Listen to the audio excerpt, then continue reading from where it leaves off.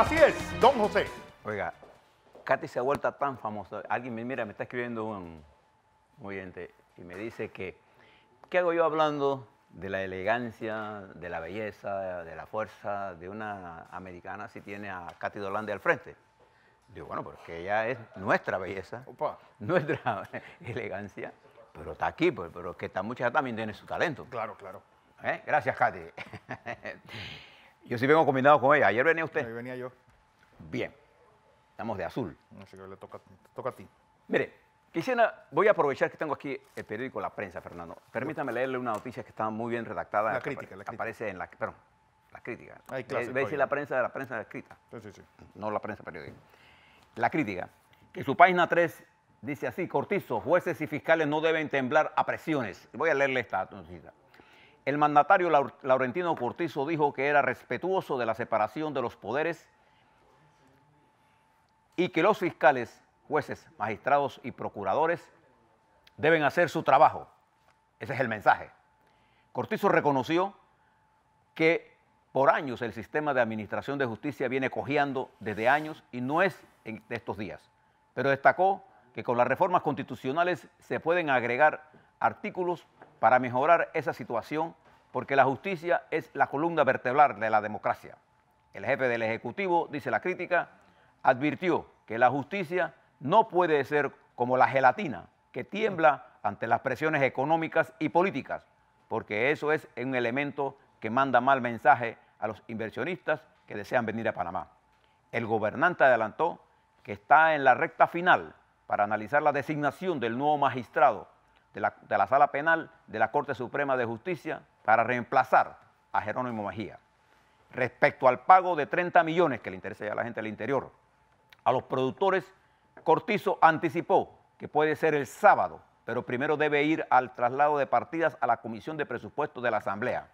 Las declaraciones de Cortizo se dieron en el marco de su participación en el primer encuentro nacional de estudiantes, donde señaló que están preparando un reglamento para mantener los subsidios educativos como la beca universal, adicional, adicion- adicional los mejores estudiantes a nivel nacional tendrán una beca extra basada en la excelencia.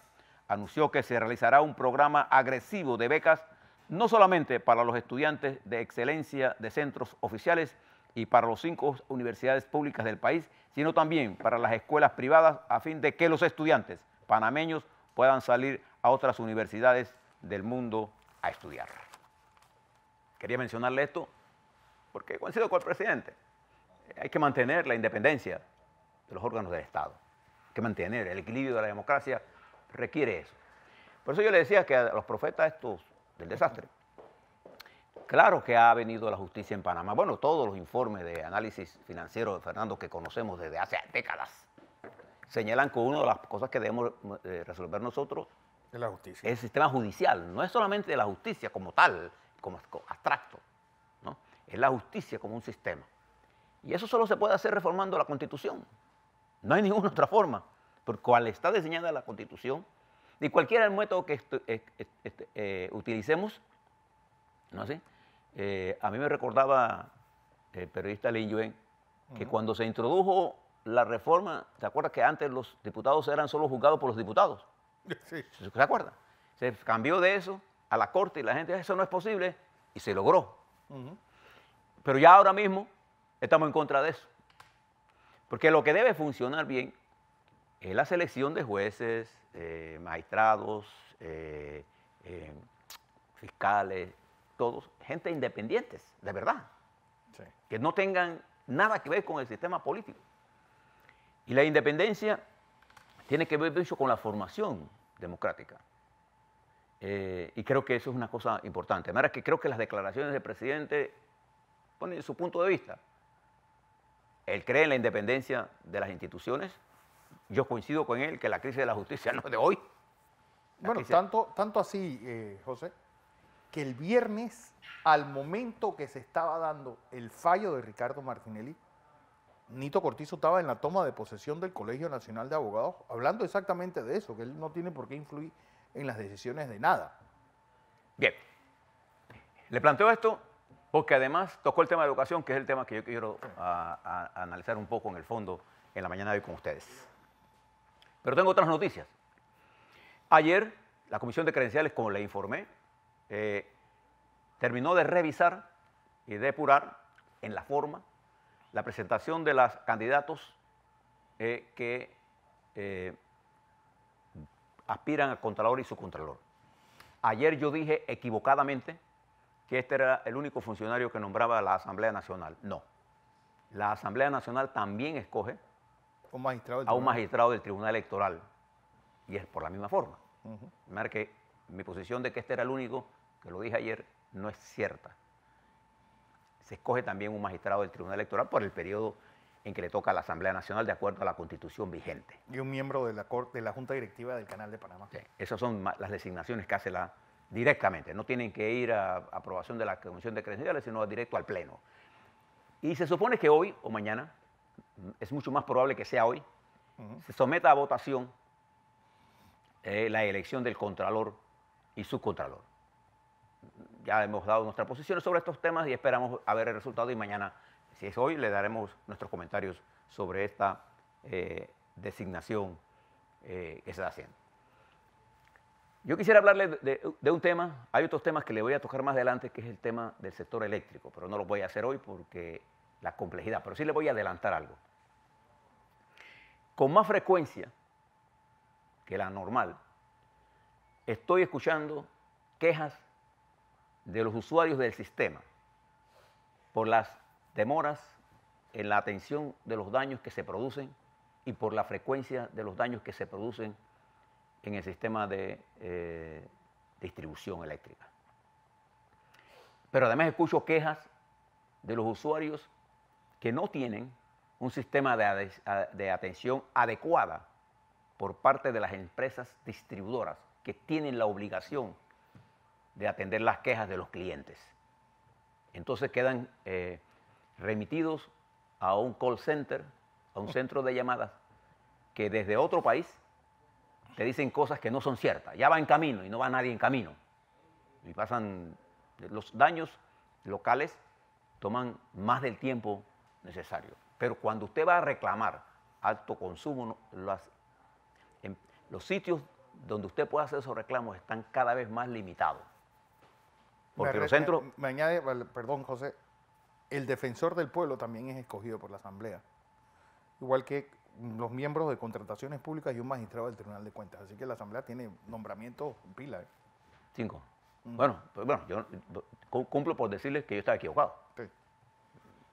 para que usted vea que eh, las cosas son como son. Yo dije ayer equivocadamente una cosa que no es así. Eh, además de este problema eléctrico de distribución, vi ayer en un medio de las supuestas inversiones que las empresas de, dist- de distribución están haciendo. Bueno, yo le puedo asegurar que los niveles de inversión que las dos empresas encargadas de la distribución eléctrica están haciendo no están ni siquiera cerca de lo com- que, el compromiso que ellos tienen en el contrato de suministro de energía. No, que deben hacer 675 No, de los que, millones. no, de los que ya están pactados, por- porque cada año ellos tienen que hacer un, un nivel de inversión. No lo están haciendo. Y los niveles de calidad del servicio están mejorando en forma paulatina, ascendente y preocupante. Porque eso hace que sectores empresariales eh, del servicio de producción de alimentos, de pollos, hoteles pequeños, no se queden sin áreas turísticas que, que- que se quedan sin servicio eléctrico, usted lo conoce, en las playas, eso es una cosa insoportable. No, primero de luz y después de agua. De eso quiero hablarle en detalle porque requerimos medidas para esto. Pero quisiera hablarle de educación. Leí una entrevista que hizo la ministra de Educación. Y de acuerdo al principio, a uno de los principios, de los pilares, presidente Cortizo llegó al poder con cuatro pilares y un pilar estrella. La estrella de su programa es la educación.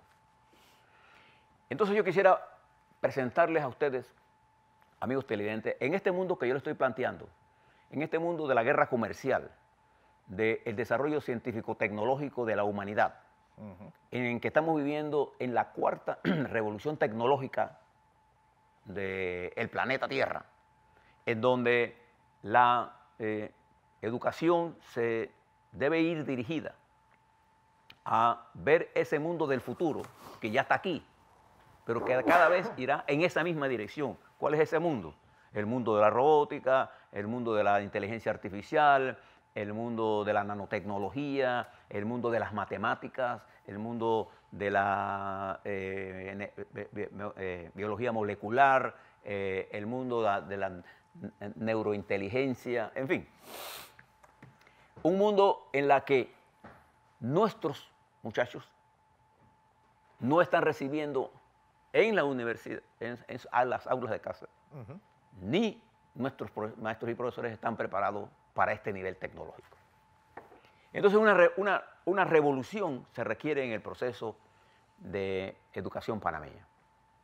Pero las revoluciones, como todo, tienen que hacerse en función de un determinado nivel de consenso para tener una fuerza de sustentación que impulse la reforma. A mí sí me preocupa que las escuelas estén bien pintadas y esas cosas, pero eso es secundario.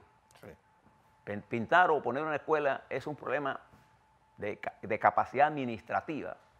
Cambiar planes de estudios, reformas conceptuales, eh, es mucho más complicado porque estamos frente a un mundo que difunde mentiras y usa el miedo como instrumento para impedir el avance de la educación. Si usted quiere una de esas cosas, una de ellas es la educación sexual, por ejemplo, que está atrapada entre fuerzas que, impulsadas en conceptos religiosos, impiden que nuestros niñas y niñas tengan acceso a una educación sexual resultado de esa eh, eh, combinación de fuerzas que han logrado establecer un proceso hegemónico para impedir la educación, que nuestras niñas y niños son objeto de violaciones sexuales, nuestras niñas en particular, más de 10.000 de ellas anualmente, eh, en edades que van desde los 12 hasta los 18 años, incluso adolescentes y jovencitas, quedan embarazadas perdiendo el proceso de educación y, cayendo al círculo vicioso de la pobreza, donde jamás podrán salir de ahí. Entonces le planteo esto, porque la reforma educativa tiene que plantearse no solamente en función del mercado, porque esto no es un problema de mercado nada más. Este es un problema que tiene que ir dirigido a cuáles son las fuerzas que vamos a movilizar para hacer la reforma y, cuál es el total de la reforma. Nosotros no solamente necesitamos una reforma para los preescolares, para la educación eh, primaria, para la media, necesitamos reformas universitarias. Nosotros tenemos en nuestras universidades cantidad de muchachos nuestros estudiando cosas que jamás van a poder usar. Primero porque estamos estudiando, estamos engañando a la gente con educación que no está a la altura de lo que nosotros necesitamos hacer. Nuestra economía marcha en términos veloz hacia la eh, integración mundial de un mundo que en el siglo XXI se marca por el desarrollo científico-tecnológico. Observe los grandes países que salieron de situaciones parecidas a nosotros. Le voy a dar Corea del Sur. En el año 85 era muy parecido al desarrollo de nosotros. Exactamente. ¿Cuál es la diferencia? La reforma educativa que Corea del Sur hizo. Y usted compara a los estudiantes de Corea del Sur con los estudiantes de nosotros y vas a encontrar dos cosas. Uno, la calidad de los maestros y profesores y la calidad de eh, el pensum de estudio que esos muchachos están sometidos. Pero hay un tercer factor, que es la incorporación de la familia al proceso educativo. Padres, madres, tíos, abuelos. Aquí lo que quieren es que los abuelos cuiden a los hijos. No, ellos ayudan allá a la formación de los muchachos. Y esos países han logrado, igual que lo hizo Taiwán, igual que lo hizo Singapur, lo está haciendo en este momento Camboya, y Vietnam. Lo está haciendo Vietnam. Lo hizo China, la República Popular China, que hace unas décadas era un país de campesinos. Y hoy produce un cuarto de la mano de obra especializada en qué? Matemáticas, ingeniería, ciencia, inteligencia artificial. O sea, ese volumen, un cuarto de los hombres y mujeres capacitados en este, este desarrollo, de esa especialidad, lo está produciendo China. Otro importante aporte hace la India. Mm. Otro importante aporte hace eh, Indonesia. Irán, aún en medio de la guerra. Que ese avance los ha logrado poner donde están. Entonces nosotros tenemos que tomar, entender y discutir sobre estos temas.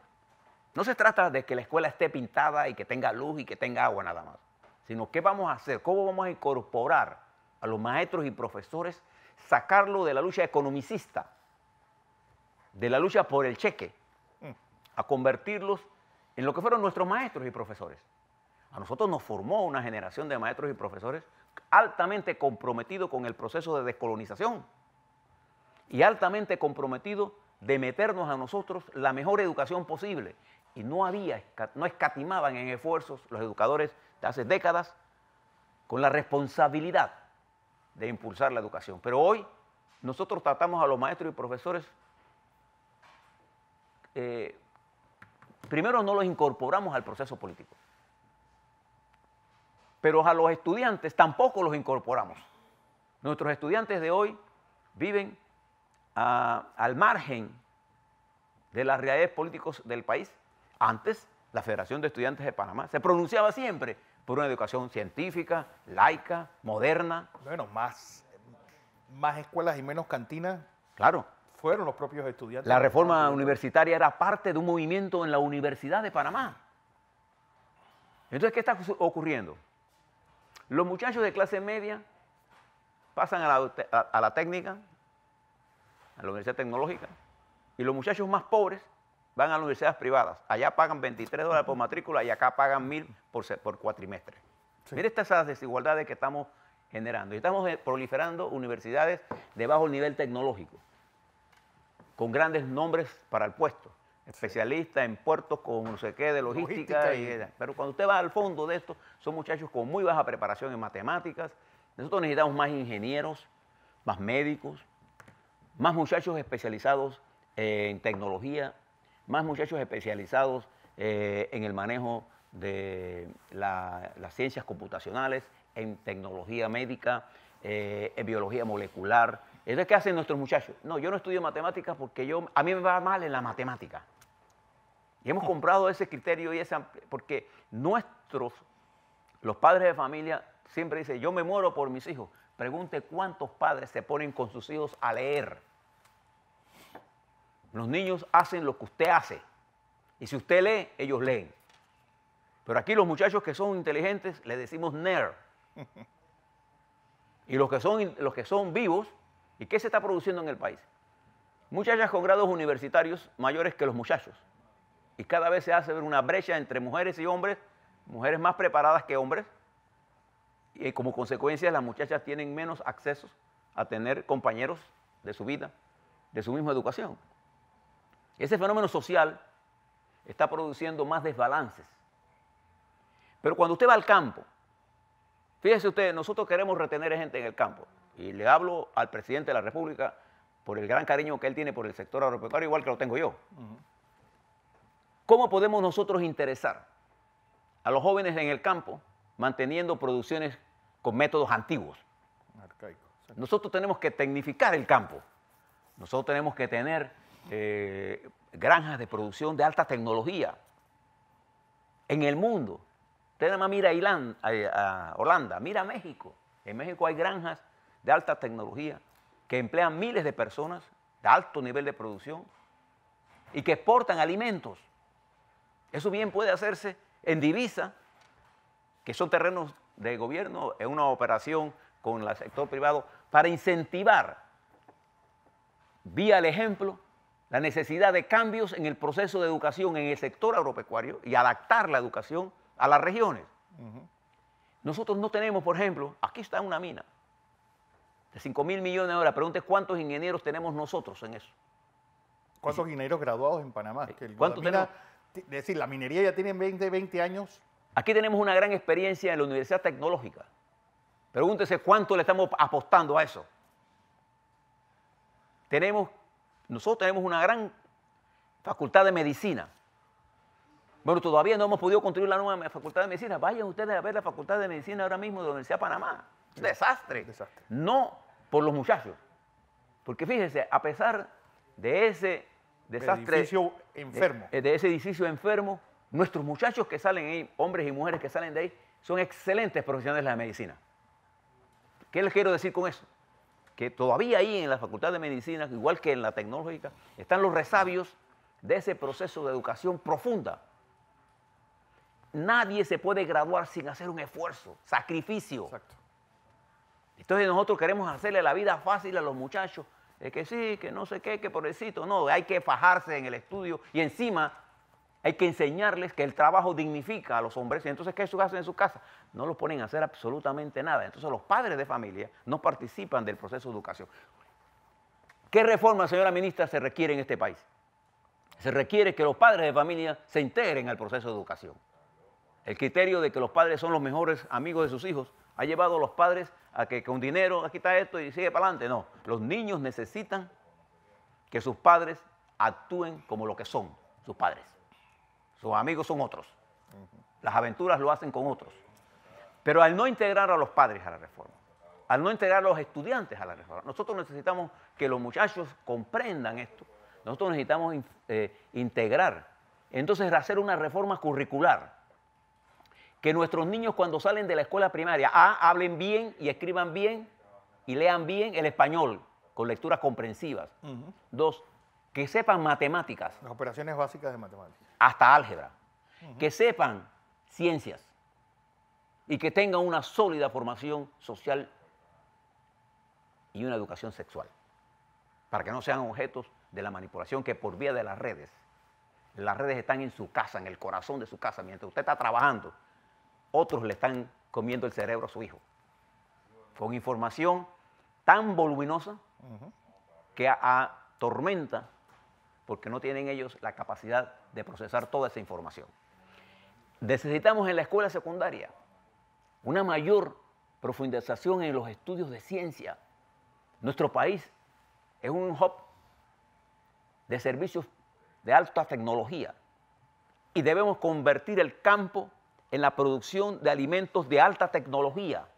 Entonces nuestra universidad eh, agropecuaria debe ser de alta tecnología. Pero además de eso, señora ministra, debemos invertir en investigaciones. Nuestros profesores y maestros no investigan. No producimos documentos que nos permitan a nosotros entender cómo ha afectado la psiquis del panameño las transformaciones materiales a las que ha sido sometido el país en los últimos 15 años, para dar un ejemplo. Entonces, esos diálogos lo tiene que impulsar la ministra de Educación, pero tiene que despojarse de la eh, burocracia donde uno está metido. Las reformas requieren de apóstoles, de gente comprometida. Y debemos comprometer más gente para hacer de verdad la educación la estrella del país, no del gobierno de Benito Cortizo. Cuando el país esté comprometido en la educación, no es mandar a los muchachos a la escuela. Fíjense lo que pasa ahora. Usted, Fernando, viene de esa misma generación y voy a terminar aquí.